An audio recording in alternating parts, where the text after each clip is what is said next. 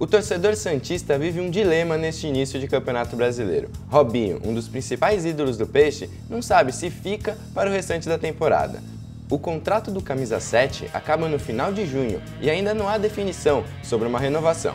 Robinho, inclusive, já recebe propostas de outros clubes brasileiros e do exterior. O Flamengo já procurou o atacante e surge como principal ameaça para tirar o rei das pedaladas da Vila Belmiro. Vale lembrar que o técnico do rubro-negro é Vanderlei Luxemburgo, com quem o atacante mantém boas relações desde 2004, época que os dois trabalharam no Santos. Robinho já manifestou interesse em continuar na Baixada por muito tempo e até de encerrar sua carreira por aqui.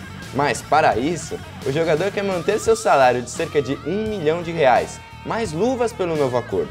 A diretoria Santista enfrenta graves problemas financeiros e já afirmou que não cometerá loucuras. Outro fator que prejudica a permanência do camisa 7 é a dívida que o Peixe tem com o atacante.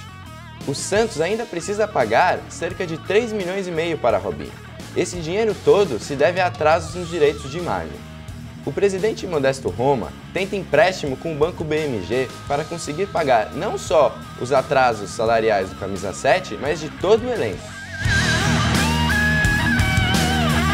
Em definições à parte, Robinho se apresenta no próximo dia 1 na seleção brasileira para a disputa da Copa América. Até lá, ele ainda atua mais duas vezes pelo Peixe. Resta saber se a camisa 7 alvinegra será do eterno menino da Vila no segundo semestre.